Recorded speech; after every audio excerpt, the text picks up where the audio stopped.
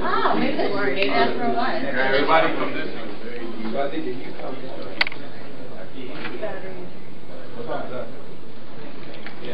Hey, how you doing? Well, I know the. Yeah. You know, anymore. Would, something you'd be interested in? Thank absolutely. Okay, see you. Films that come in, pilots that come in.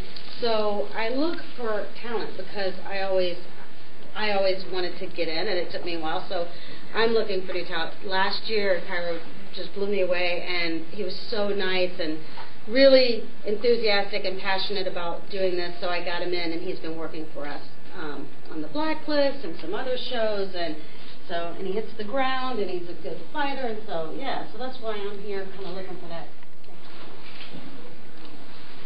Hi, I'm Jeremy Sample, um, stunt person, stunt coordinator.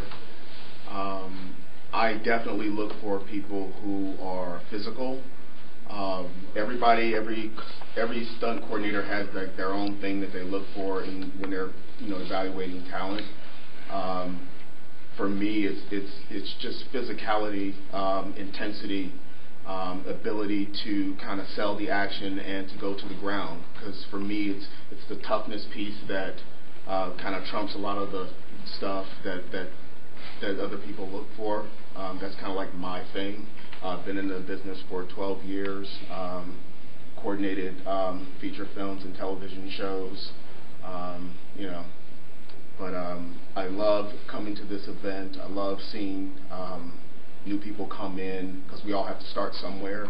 And uh, I think this is an ex excellent opportunity for people who are looking to get into this business, um, to be put in front of people that are seasoned, um, and and given the opportunity to kind of perform, so we can kind of gauge your talent and, and maybe bring you on to some shows, and you know you can then be part of one of us, you know, in our in our you know. And the person he had started was his name was Dennis Brown, my instructor.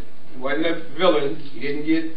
He wasn't a half person. If you look up the movie, he was a main starring character in that movie, and they was building him up to become the next Black Bruce Lee in Hong Kong. So, and Master Brown is one of the people that gave me all the confidence, along with Osa Cassell, to go out and do this. Because if it wasn't for them, I wouldn't even been in films. You know, it, it, you guys. I mean, portfolios, all the things that I do, uniforms, everything, all come from my two instructors. So I'm just passing on what they did, did for me. Master Brown, you tell them a little bit about yourself. Yeah, I was going to say I shouldn't be up here with you guys. These guys are producing folks. I, I uh, was fortunate enough to be one of the first. I was the first American to actually do a film, uh, full film in uh, Hong Kong with uh, Chang Cheh. I don't know if you're familiar with Chang Cheh, but he was the guy that, that uh, brought up Angela Mao Ying, that whole crew in the 60s, and the Five Deadly Venoms. In fact, my film that I got, all the fight scenes were put together by Lu Fong, who's I, I think you guys guessed. So I came up to see him. Uh, that was many years ago, but over the last 36 years, I've probably produced, uh, uh, not been a stunt coordinator, but I've got at least 10 of my guys that are doing stunt, major stunt stuff in uh, Hollywood today, uh, and hopefully, and I've judged probably everybody from the Ninja Turtles to the Power Rangers to anybody in film.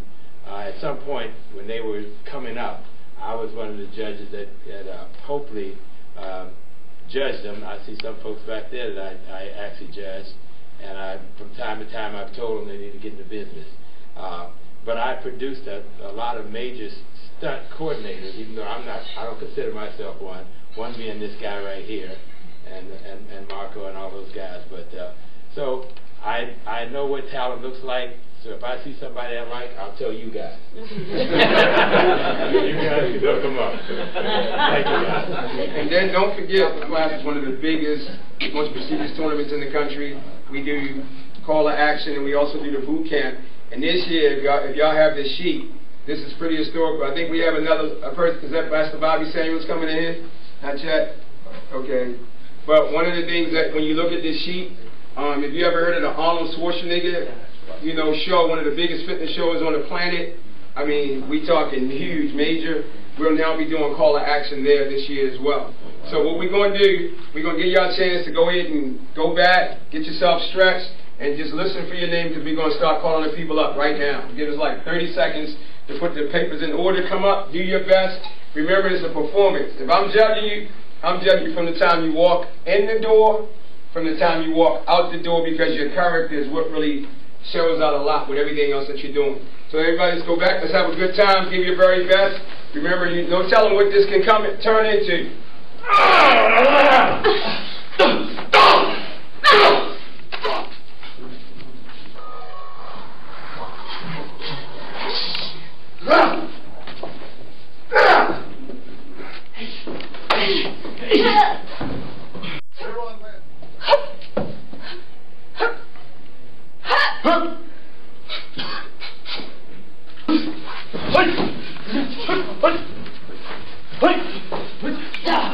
No, no, no.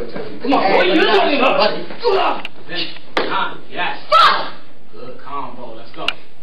Love. Give me the money. No.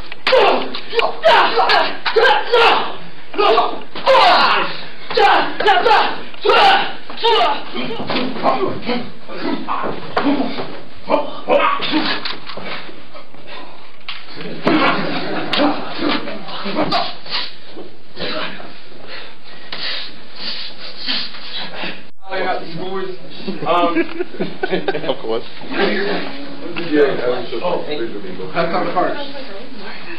Take off one side, finish the round, keep going, control up everything. Good job, it's good to see how far the call to action has come. But one of the things I like to suggest, like, to, like even the people that have won, you should never stop competing. Because, I don't know, I mean, you never know, you just keep on showing up. You just gotta keep on showing up. You don't, I think on the world stage of a, a prestigious tournament, even though Marco got a movie, I mean, he done been in A&E, been on WMAC Masters, he done did a whole bunch of stuff, but he still keeps on competing. You got to keep on competing because you never know. Some people who, when we did the Luke Cage thing, they won the championship. They did something one time, but then they didn't come back the second time because I don't know. Maybe some kind of way. Some sometimes I think people think they didn't arrive. We never arrive. You got to constantly keep on rebranding yourself because you never know who might, who who probably have not seen you. So you don't want to miss that opportunity. You want to always be prepared for whatever opportunity come come your way. So even if you win a call to action, even if you win whatever, you want to keep on going, keep on training, keep on practicing, keep going. You know, because it might not just come from a movie part. It might come. You might become a fight choreographer. You might get some some opportunity some other way. So don't just just show up this one time and if you do a good job, you get good things. You don't come back. You just you keep on going. I mean, I I mean, anybody would everybody agree? You still work out, don't you? Every day. You still compete, don't you? I mean, uh, right? Don't we still keep going? Master Brown, you still train, right? You, you, I mean, these people at this table so humble. They walk down like like they never achieved anything. That's the way to be. Because then, would you agree, you keep getting work when you got humility, am I correct? So that's what you want to do. We never rob, man. We're going to keep on going. Any, anything you want to add to the, to the performance?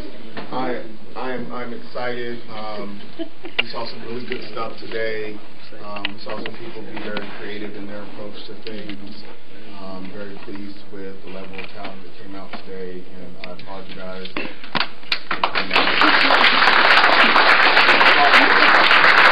Great, loved it, um, especially when people think outside of the box. Um, do that. Be original if you can, and do something that. Don't be scared to do something different. That's what stands out as well. So it was a lot of creativity, a lot of and a lot of talent. Um, but yeah, just keep going with it. But I was very. Well, first was technique, because you have to look good on camera. You can have all the facial expressions, but if your technique is sloppy, then it makes whoever you're mimicking, uh, uh, stunning for, look sloppy. Uh, I saw some folks, I brought them up because the technique was just clean, but they weren't exciting.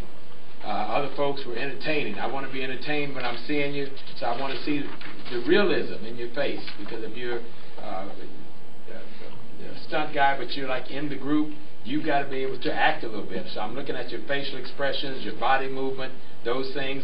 Some of you looked amazing on that. I I really snapped my head back a couple of times when you hit the floor. And uh, uh, what I got a chance to work years ago with some of Jackie Chan's people, and they always said that he was an amazing guy. But what made him really amazing, and also working with Lou Fong them, is you had to be willing to give your body up. Some of you guys were exciting, but when you hit the floor, I could almost see you kind of give up on the way down. You've got to be, as a stunt uh, guy or stunt coordinator, you've got to be willing to uh, make, uh, who was saying it earlier, make them look good. Because they think they're looking at the actor at that point. And you've got to be willing to give it up to make them look good. So I'm really excited. I've been here, uh, seen it every year, and I will tell you that from the roof, time you did it on the roof, this has moved up like 400 percent. And I, and I just, I know people give competition a bad name, but if you win in forms and weapons, you got to be a great performer. That's no different than being a stage, being a stage performer. You know, so if you can't perform on the stage, you know, you should be able to perform on the stage in front of a camera, a camera. But what we see right here, imagine that being on a world stage in national karate tournaments all over the world. Don't think that Jackie Chan and all these people don't come to those places. Come on, where was Bruce Lee discovered at? Long Beach International. So don't think that these things are not happening right there. Everybody got the chance to see you. We take the names out. The other, uh, the other events are more or less competitions. I think you need to get, like he said, again, one thing. When you walk out remember your brand. Whatever I wear, I don't wear nobody else's clothes. I'm to wear my clothes. I don't care what I got to do. I'm to wear me. If somebody puts you on the camera, well, they ain't to let you do that now because um, Daymond John messed that up when he like wore, wore, got everybody to wear his FUBU on on MTV, so that's why they always put that little thing. But man, try.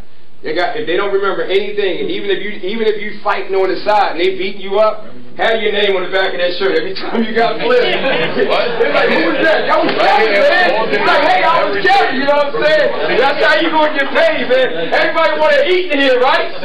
And you want to eat off your talent, right? Remember your brand. Give yourself a hand. Good job.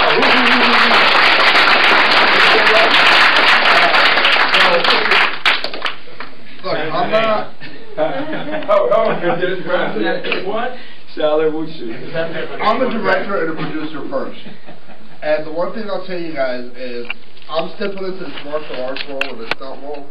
And the first thing that Professor Johnson did when I went up to see him in Baltimore, he gave me a suitcase full of DVDs. Study your craft. Find a way to perfect it, but you're never going to perfect it. You're never going to be perfect at what you do, but always find a way to take that step up and make yourself better. Make yourself stand out. Because I'm just going to use both of you sitting up front, black shirt and white shirt. If you two are doing the same exact thing, I'm just going to pick one of you because you can do the same thing.